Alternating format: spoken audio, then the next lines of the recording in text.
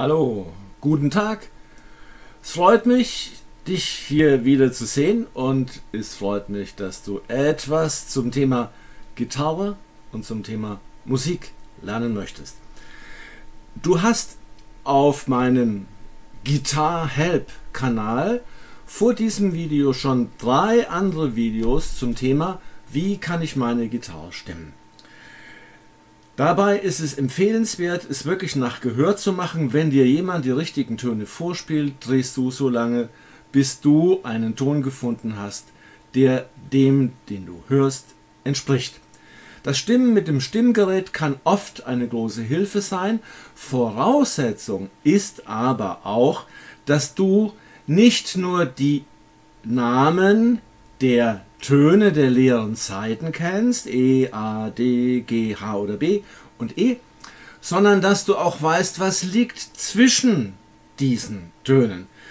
Denn wenn dein Stimmgerät dir ein C anzeigt, du möchtest aber ein A haben, ist es wichtig zu wissen, wie ist der nächste Weg zu diesem A, damit du nicht in eine falsche Richtung stimmst und viel zu hoch oder viel zu tief am Ende herauskommst.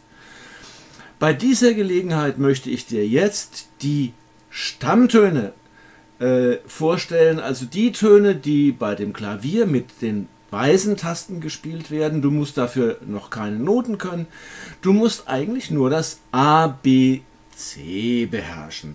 Ich hoffe, das kannst du und ich erkläre dir jetzt im folgenden Video, wie du das arrangieren musst und wie es dir dann helfen kann, digital nach Stimmgerät zu stimmen, damit du dich da nicht verirrst. Zudem ist es natürlich total wichtig, dass du wenigstens das musikalische Alphabet sprechen kannst, bevor du anfängst, ein Instrument zu lernen. Äh, diese Töne nach Noten oder nach Zahlen spielen zu lernen, kannst du später noch.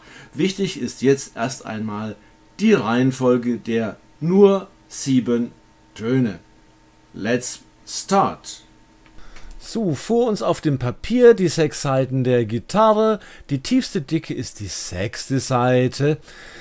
Auf dieser Seite findest du neben dem Ausgangston E noch das F und das G.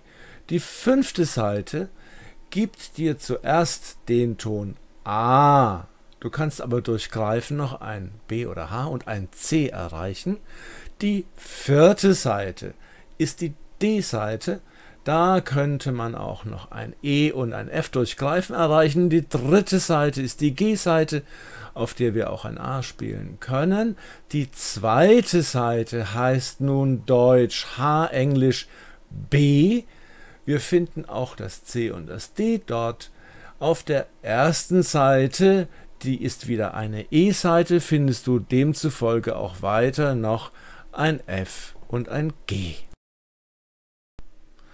So, und nun beginnt deine Arbeit. Du sollst nämlich dir diesen Überblick merken und im Kopf behalten. Wie geht das? Wenn du einmal jetzt hier auf diesem Bild ganz nach unten siehst, findest du heraus, dass die roten Buchstaben A, B, C, D, E, F, G das sind genau sieben. Das ist der Anfang des Alphabets und das musst du zügig sprechen können.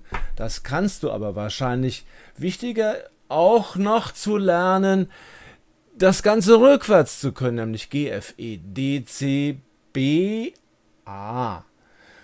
Die kleinen Buchstaben links und rechts neben den großen roten, also die kleinen schwarzen, zeigen dir, dass es mit einer Wiederholung dieser Tonreihe sowohl nach oben als auch nach unten weitergehen kann.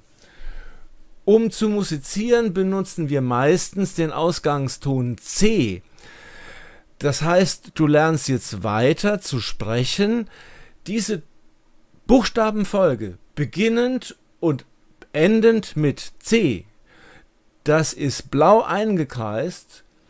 Also sagst du aufwärts C, D, E, F, G, A, B, C. Versuch das selbst. Sprich mit. C, D, E, F, G, A, B, C. Wenn das jetzt in diesem Tempo noch nicht klappt, halte den Film an und sprech es für dich so lange, bis du es zügig sprechen kannst, zum Beispiel wie C, D, E, F, G, A, B, C.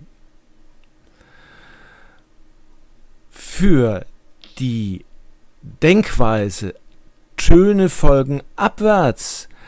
Lerne nun ganz langsam, das ist schwieriger, C, B, A, G, F, E, D, C.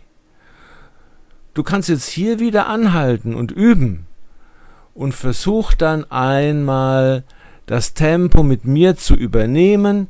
C, B, A, G, F, E, D, C. Wenn du das in diesem Tempo kannst, dann bist du gerettet. Du wirst dich jetzt in Zukunft auf der Gitarre sehr viel schneller zurechtfinden. Viel Spaß mit deinem Instrument.